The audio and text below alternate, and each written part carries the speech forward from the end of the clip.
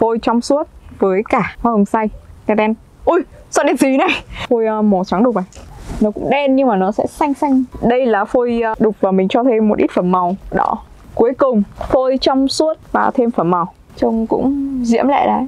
Nó trong suốt này xong rồi bên trong mình nhìn thấy cái cánh vụt cánh hoa bên trong này. Hơi tò mò là không biết là dùng cái này xong rồi nó có bị đỏ đỏ tay không nhỉ? Ui đỏ le luôn này.